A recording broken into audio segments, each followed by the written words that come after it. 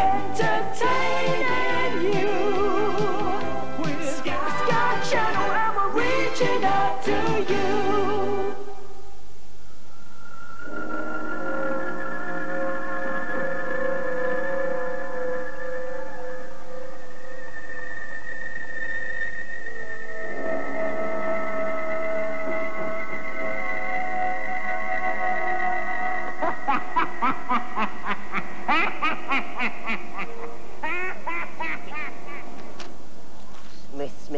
Snoot, Snoot. Didn't know he had a phone. Huh. Wonders will never cease.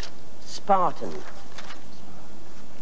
Sp- Sp- Spielberg, Spielberg. Got it. Uh-huh. Ah! Good evening, Fright fans. Glad you could uh, join me for the Deadly Ernest Horror Show. I'm just getting together my panel of judges for the Ernies. It's only two weeks to go before I stage the movie event of the century, the first festival of the worst movies ever made. Uh, excuse me a moment, I'm calling Steven Spielberg. Hello, Stevie baby. yes, it's me, Deadly.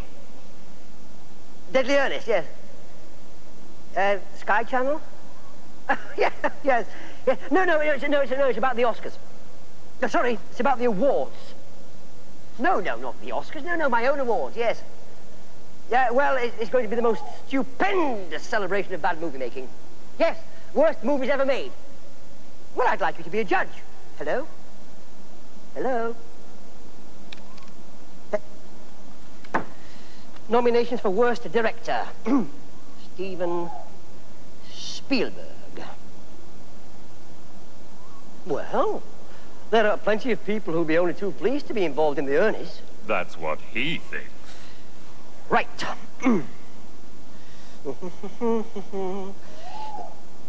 ah, ah, still life. Roses in the graveyard. Uh, I must have a word with Greaves about getting this place tidied up. I mean, look at these things. Now, funnily enough, roses feature in our movie tonight. The woman in it receives a bunch of roses mysteriously. Now, could she be living in a haunted house? Settle back. Enjoy sweet scent of death. Greaves!